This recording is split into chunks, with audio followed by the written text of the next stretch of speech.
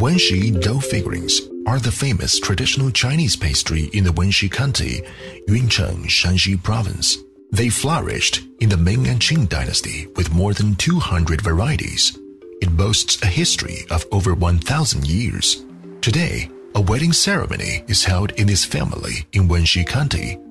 Before 12 o'clock, the bride will be greeted in the house. When the bride comes to the groom's home, she should bring the dough figurine from her family. This is quite important in local wedding customs. It is considered to be a blessing for the wedding couple to have good health and eternal love. The dough figurines in the making today are for wedding purpose, which usually take the image of dragon, tiger, and a phoenix. It demonstrates the blessings of the bride's family for her married life. Making dough figurine is very complicated. It needs to go through nine major procedures including water collection, flour sifting, yeast making, dough kneading, shaping, proofing, steaming, coloring, and decorating. There are also up to 100 smaller processes. All of them are done by hand. The rich Chinese culture, as well as the unique skills gained through a thousand years of practice, is fully demonstrated during these processes. First, we need raw materials for making dough figurines. The dough figurines, which are made with a local Baiyuan flour and a Beiyuan water, are the most authentic. Evenly mix the yeast water prepared the night before with a fine Baiyuan flour and then add some water to make it into dough. Knead the dough repeatedly for at least 8 times. Only professionals have a good control over the strength needed during dough kneading. After the dough is prepared, one can start making dough figurines. The dragon's body needs to be done first, but it is quite easy. One only needs to knead the dough into a flat round strip.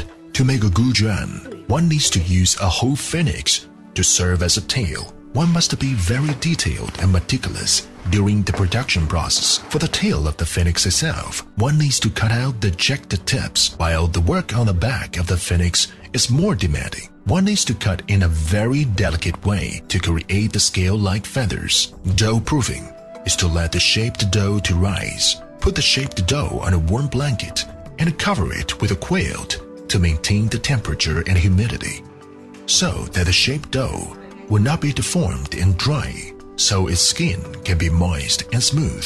After proofing, the shaped dough is ready to be put on a steamer. The steaming process would usually take about 40 minutes. During the steaming process, one needs to keep the following in mind.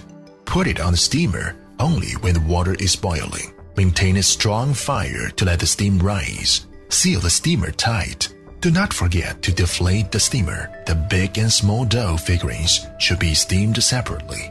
Remove the dough figurines from the steamer when the steam is gone. Cool down the steamed dough figurines on a kneading board the dough figurines will harden and their shapes will become permanent.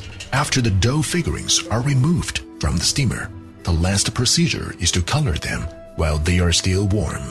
By doing so, the color on the dough figurine is fresher and brighter and would not fade easily. Dough figurines making is a unique form of folk art in Wenxi County. At first, it was only used for sacrificial rites, and there were only two varieties, dragon and tiger, which symbolized the vigor and vitality. With a change of times, dough figurines has developed and expanded to over 100 different varieties, including fish, insects, birds, flowers, and all kinds of characters. Different designs have different meanings Different combinations and numbers of dough figurines are often used for different rituals and have different cultural connotations. Wenxi dough figurine has a complete system, but the blessings expressed through it remain the same.